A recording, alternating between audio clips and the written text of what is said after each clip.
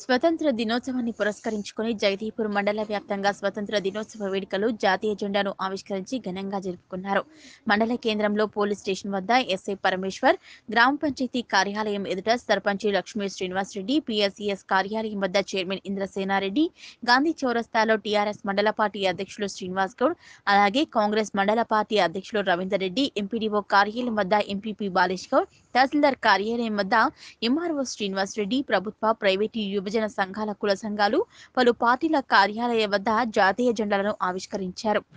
ఈ కార్యక్రమంలో MPTC Kavitha Srinivas Reddy MPDO Sudheer Kumar deputy tahsildar Karunakar Rao సర్పంచ్ల forum మండల అధ్యక్షులు యాదవరెడ్డి టీఆర్ఎస్ గ్రామ శాఖ అధ్యక్షుడు కొంపల్లి శ్రీనివాస్ టీఆర్ఎస్ యూత్ విభాగం మండల అధ్యక్షుడు కరుణాకర్ టీఆర్ఎస్వి మండల అధ్యక్షులు ప్రశాంత్ సర్పంచ్లు ఎంపీటీసీలు వార్డు సభ్యులు అధికారులు పలు పార్టీల నాయకులు యువకులు మహిళలు ప్రజలు తదితరులు పాల్గొన్నారు.